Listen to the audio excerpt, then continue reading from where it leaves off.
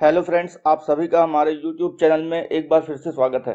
हमारे इस वीडियो का टॉपिक है रिकर्सन हम अपने इस वीडियो में रिकर्सन से रिलेटेड हर एक चीज़ के बारे में वन बाय वन डिस्कशन करेंगे। दोस्तों, हमने अपने पिछले वीडियोस में ये देखा था कि हम किसी भी फ़ंक्शन को किस तरीके से क्रिएट कर सकते हैं और उन फ़ंक्शन को किस तरीके से कॉल या फिर इन्वोक कर सकते हैं। इसके साथ ही हमने एक फ़ंक्शन के थ्रू दूसरे फ़ंक्शन को कॉल भी किया था। लेकिन फ्रेंड्स क्या कभी आपने ये सोचा है कि कोई फ़ंक्शन खुद को कॉल कर सकता है या फिर इन्वोक कर सकता है? सुनने में ये थोड़ा अजीब ज़रूर है और ऐसा लगता है ये यूजलेस है और इलीगल भी है। बट ये लीगल होने के साथ साथ काफ़ी यूजफुल भी है और इसी वजह से इसे रिकर्सन का नाम दिया गया है। कि अगर आप हमारे चैनल पर नए हैं तो अभी जाकर हमारे चैनल को सब्सक्राइब करने के साथ ही साथ बेल आइकन को भी प्रेस कर लीजिए ताकि आगे आने वाले वीडियोस के नोटिफिकेशंस आपको सबसे पहले मिल सके। और अगर आपके पास कोई सजेशंस हैं, जिसके थ्रू हम अपने चैनल को और भी अधिक इम्प्रूव कर सकते हैं तो आपके लिए हमारा कमेंट बॉक्स हमेशा ओपन है। तो आइए अब हम आगे बढ़ते हैं अपने टॉपिक में। हम रिकर्सन का यूज़ करके किसी भी लार्ज कंप्यूटेशनल प्रॉब्लम को सक्सेसिवली स्मॉल प्रॉब्लम्स में कन्वर्ट करके उस प्रॉब्लम को सॉल्व करने में करते हैं। रिकर्सिव प्रोसीजर में दो इंपॉर्टेंट पार्ट है। First one is one or more base cases and second is recursive case सबसे पहले हम देखते हैं बेस केस को इसे हम स्टॉपिंग केस के नाम से भी जानते हैं। ये एक स्मॉल प्रॉब्लम होता है और हम ये जानते हैं कि ये प्रॉब्लम किस तरह से सॉल्व होगा। अगर दूसरे शब्दों में कहें तो base case is a pre known solution either a value or any formula जिसे बिना किसी रिकर्सिव कॉलिंग के कंप्यूट कर सकते हैं और डायरेक्टली यूज़ भी कर सकते हैं। अब हम देखते हैं रिकर्सिव केस को। ये किसी भी प्रॉब्लम का एक मोर जनरल केस है और इसे सॉल्व करने के लिए हम सेम फ़ंक्शन को रिकर्सिव कॉल करते हैं।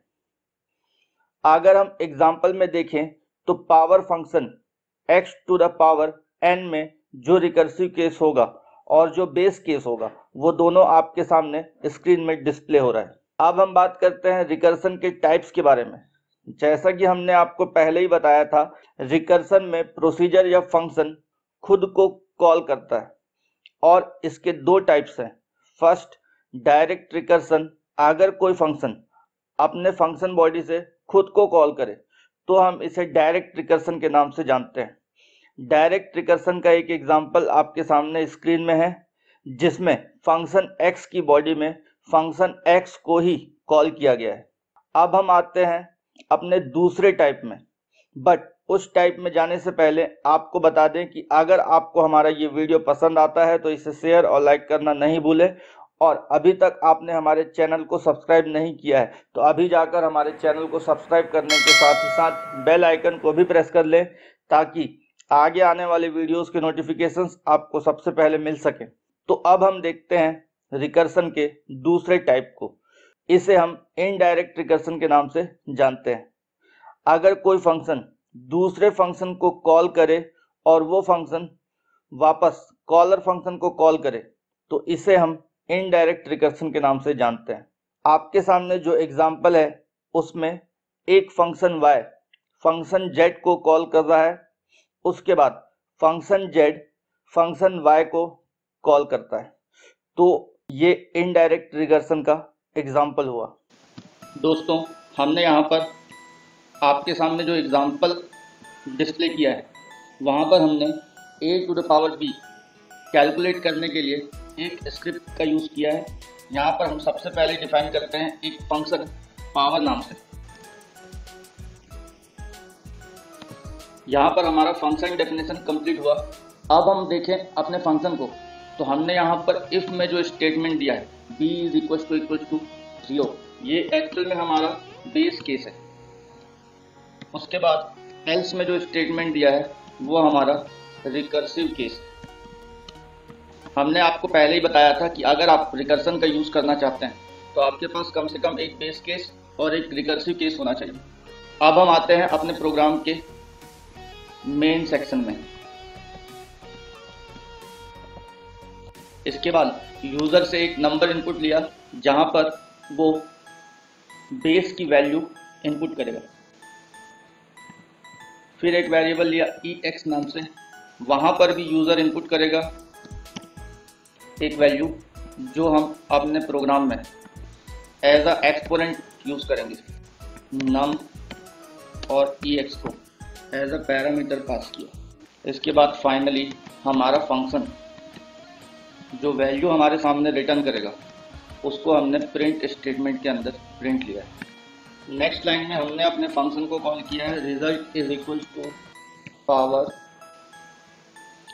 तो आइए अब हम देखते हैं हमारे स्क्रिप्ट का आउटपुट क्या है। सबसे पहले हमको प्रोग्राम को सेव करना है। हमने प्रोग्राम को सेव किया recursion zero one dot P Y के नाम से।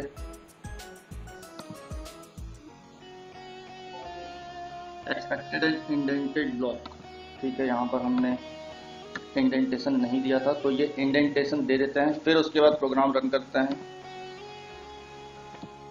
एंटर पॉजिटिव वैल्यू ऑनली सबसे पहले बेस की वैल्यू इनपुट की टू फिर उसके बाद एक वैल्यू इनपुट करना है एक्सपोनेंट के लिए। एक्सपोनेंट में हमने दिया थ्री अगर इसका आउटपुट देखें तो two raised to the power of three is eight उम्मीद है आप सभी के लिए हमारा ये वीडियो बेनिफिशियल होगा और आप इसे शेयर और लाइक करना नहीं भूलेंगे। तो दोस्तों, अब हम मिलते हैं अपने अगले वीडियो में किसी नए टॉपिक के साथ। तब तक के लिए stay at home stay safe thanks for watching our channel and video